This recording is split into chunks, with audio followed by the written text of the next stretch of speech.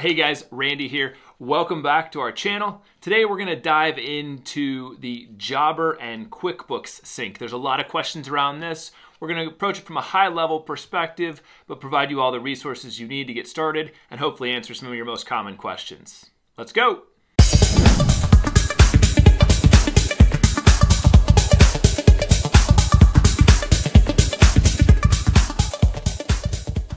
Welcome to our video on the new QuickBooks integration with Jobber. Today we'll be addressing some frequently asked questions to help you understand this integration better. Before we begin, let me introduce you to Adhesion. We help small businesses grow and scale through a three-pillar strategy called the Adhesion Triangle. As a Jobber partner, we're able to help across all three pillars by integrating Jobber with your other applications while automating processes, developing and documenting standard operating procedures, and gathering data across all of your different business applications, including Jobber, to help you make data driven decisions. First, let's discuss how this new integration differs from the previous one. With the new integration, there's a one time import for client information and products and services from QuickBooks to Jobber. The sync is now one way from Jobber to QuickBooks, making Jobber the primary source for clients and products.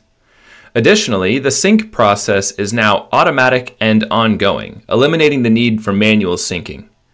And if you encounter any sync errors, you can easily resolve them directly from the QuickBooks dashboard in Jobber. Connecting Jobber with QuickBooks is a breeze. Simply navigate to the Apps section in Jobber at the bottom left of your main menu. Select QuickBooks Online from the App Marketplace and click Connect. Once you authorize the connection, there's an optional step to import clients and products from QuickBooks to Jobber. This import is one time and one way. During this process, any detected duplicates will be flagged, allowing you to choose how to handle them. It is important to note that Jobber suggests that when completing this integration, you do this at the beginning of your Jobber implementation if possible to avoid any duplicates. When it comes to syncing, several items seamlessly transfer from Jobber to QuickBooks.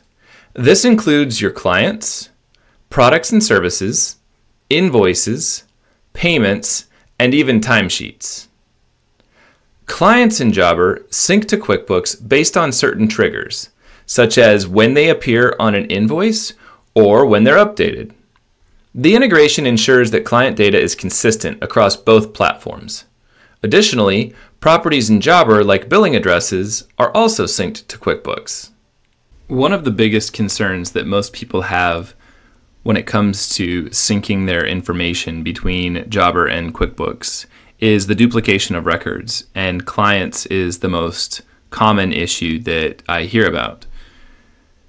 When syncing clients between Jobber and QuickBooks, it's important that the information matches exactly, specifically the company name or the individual's name, because that's what's looked at to determine if the record already exists or not. It's important that this information matches between both systems, otherwise, you will end up with duplicate records.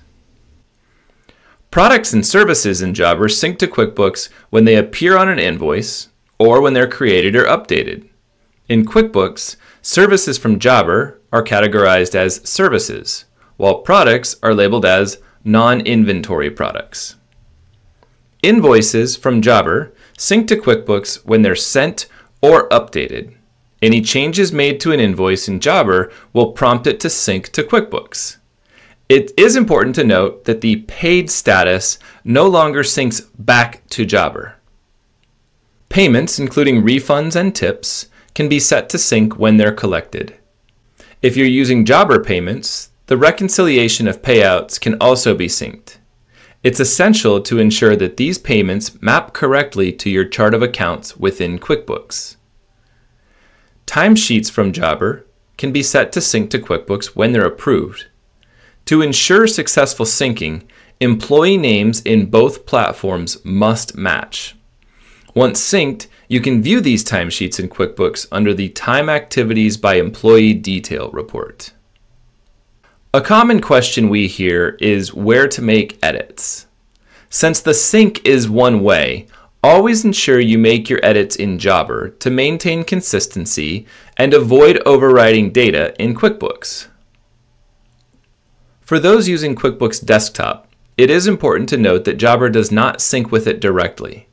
The integration is exclusively with QuickBooks Online. However, there are manual import options available for QuickBooks Desktop users. To customize your sync settings, simply navigate to the QuickBooks Sync Activity dashboard in Jobber. Here you can tailor your sync settings and even adjust your chart of accounts to fit your business needs. Do you have past items that you need in QuickBooks? No worries. With the backdating feature, you can sync older items like invoices, payments, payouts, and timesheets based on their creation date. Syncing can sometimes lead to errors or warnings.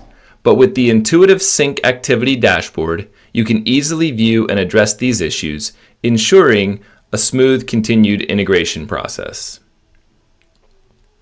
If you have more questions or need further assistance, don't hesitate to visit the Jobber Help Center or contact the dedicated support team with Jobber. For those of you seeking a more tailored integration solution, Adhesion offers an advanced Jobber integration. This solution provides completely custom integrations between Jobber, QuickBooks, and even more platforms.